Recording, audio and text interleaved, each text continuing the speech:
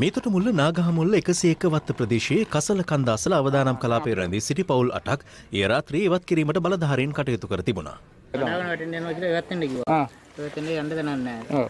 ඒ නිසා අපි ආව මෙතනට මේ මොනවද කියලා බලන්න. එය අනුව ඔවුන් ඊයේ රාත්‍රියේම මීතොට මුල්ල වී ගබඩාව වෙත පැමිණියා.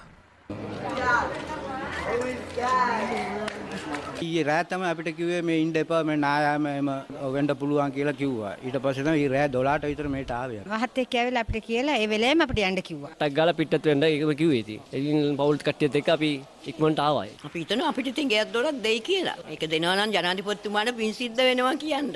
කසල කන්ද නායෑමෙන් විපතට පත් වූවන් ඇතුළු පවුල් 36ක පිරිස් මෙවන විට ගබඩාවේ රැඳී සිටිනවා. අත්‍යවශ්‍ය ද්‍රව්‍ය ඇතුළු භාණ්ඩ තොගයක් සිවිල් ආරක්ෂක බලකාය විසින් අද එම පවුල් වෙත බෙදා දුන්නා.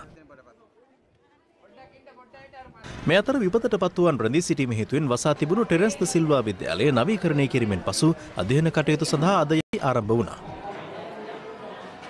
මහනුවර ගොහාගොඩ කසල කන්දේ විවිධ වායුන් විධාරණය වීමක් සිදුවන අයුරු අප පසුගිය බ්‍රහස්පතින්දා පෙන්වා දුන්නා. දෙගින් දිගටම කසල කන්ද තුළ එවැනි වායුන් හට ගැනීමෙන් කඳ නායෑමේ අවධානමක් ඇති බව පෙරාදිනී විශ්වවිද්‍යාලයේ බහුවිද්‍යා අධ්‍යනාංශයේ ජ්‍යෙෂ්ඨ මහාචාර්ය අතුල සේනාරත්න මහතා පවසනවා. අපි එක තැනක් විතරයි දැක්කේ. තවත් ස්ථානවල තියෙන්න පුළුවන් මීතේන් වායුව ඒක රැස් වෙලා පීඩනයකට ලක් වුණ ස්ථාන. ඒක නිසා මම හිතනවා මේ පිළිබඳව අධ්‍යයනයක් කරන්න ඕන කියලා මීතේන් වායුව සිතියම්ගත කරන්න ඕන කියලා. ඉතින් මේ වගේ අවස්ථාවක ඇතුළතින් පීඩනයක් ඇති වුණොත් සමහර විට නායයාමක් වුණත් මේන් ඇති වෙන්න පුළුවන්. ඒක නිසායි අපි මේ ගැන අවශ්‍ය අධ්‍යයනයන් කළ යුත්තේ.